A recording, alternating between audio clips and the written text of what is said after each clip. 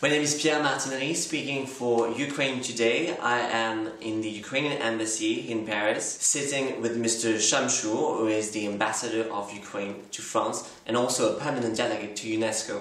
Hello, Mr. Shamshur. Thank you very much for having us here It's in the pleasure. Ukrainian embassy in Paris. How would you define uh, France's diplomatic role? Well, I think that uh, France is one of the two countries, together with Germany, uh, who is playing uh, the utmost role, a kind of a role of the prime mover in the search for the diplomatic uh, solution uh, to uh, the Russian-Ukrainian war, to the uh, crisis that was created uh, by um, this uh, war, by the Russian aggression. And uh, I think that uh, the role of uh, France in uh, this respect was really important, very and was uh, very consistent. Uh, it's also important that uh, the French government has taken uh, final decision not to uh, not to provide uh, uh, two ships of Mistral type to Russia. We think it was a very responsible decision.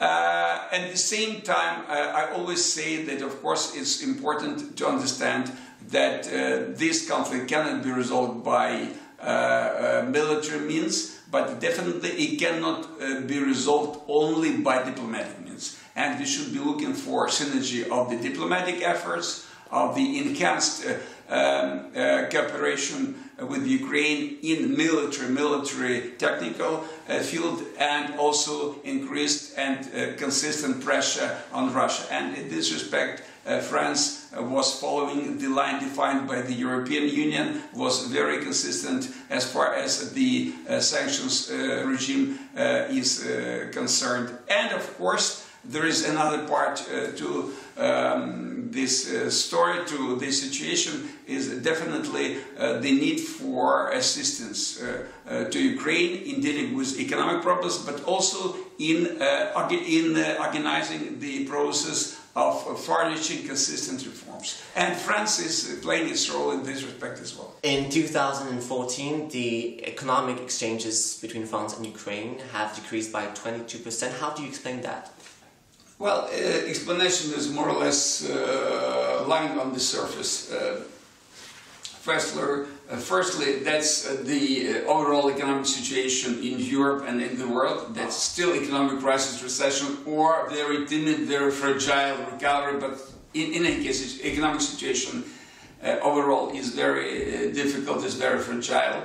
Uh, and of course, the economic situation of Ukraine is even worse, uh, and it uh, has to do mostly uh, due to the effect of the Russian aggression, as the country has to devote a lot of uh, efforts, a lot of resources to countering uh, this aggression, to war efforts, and definitely both factors definitely affect the economic changes between our two countries. I'm, of course, not um, satisfied uh, with the volume of trade and economic change, but I'm also not satisfied with the structure of the Ukrainian export to, uh, to France.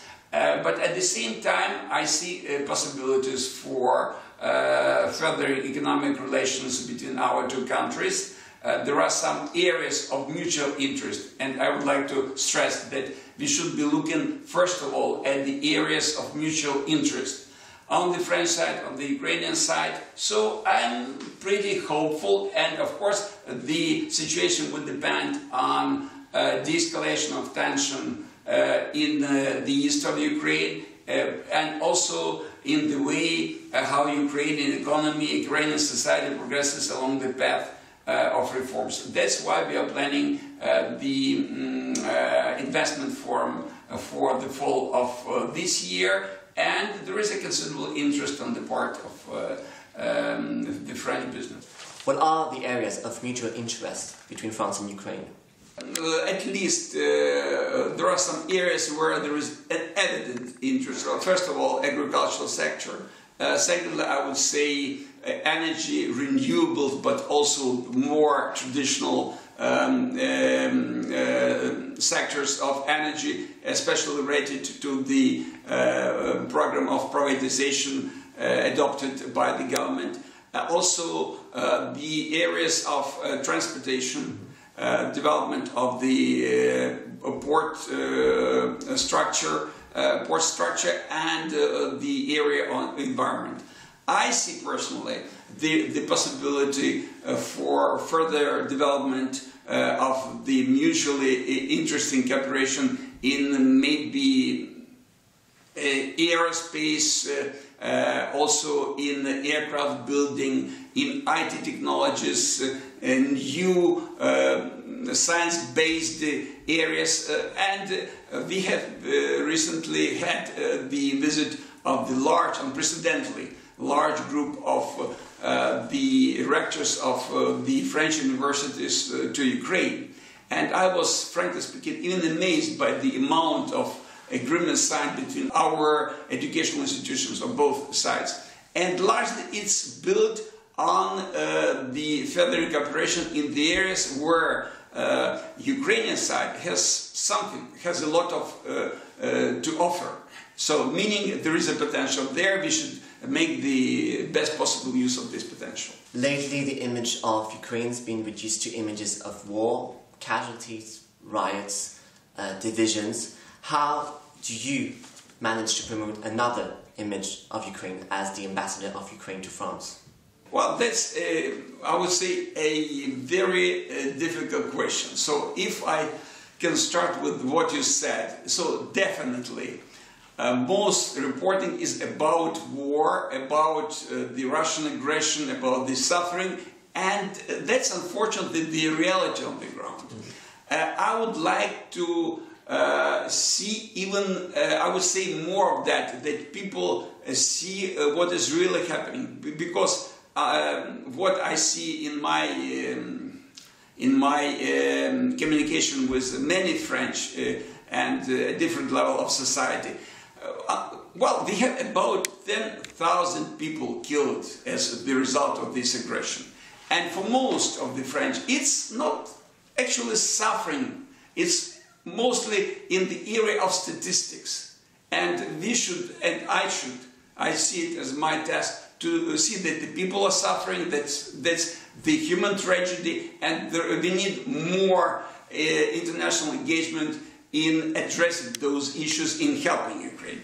On the other hand, of course, uh, I would like to show that uh, what is happening now in Ukraine is not limited to the war effort, is not limited to what is happening in some uh, districts, areas in the east of Ukraine.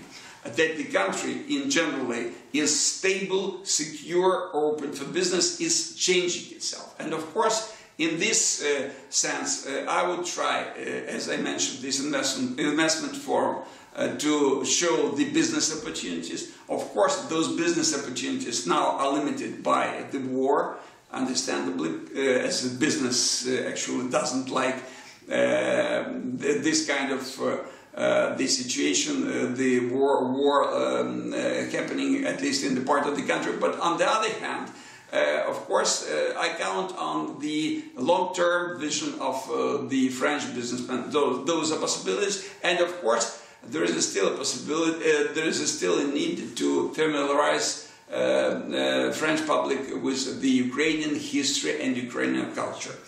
The, I would say the attitudes are changing. Finally, people understand that Ukraine is definitely is not Russia, that we are definitely are different, but there are many misconceptions about our history, about Ukrainian culture, about our relationship to the neighbors, and that's what uh, we are trying to change uh, through, well, speaking to the press, through cultural events, uh, uh through uh, conferences and so forth. That's, we are only, uh, frankly speaking, only at the beginning of the road. I've given some interviews and I said that my ambition is not to change Uh, French attitudes uh, towards Ukraine. I mean, speaking about the general public, it's a huge task. But if I manage to start or to stimulate the start of the change of those attitudes, that would be uh, achievement big enough. Thank you very much, Mr. Shamshur, for having us here. This was Pierre Martinery for Ukraine Today.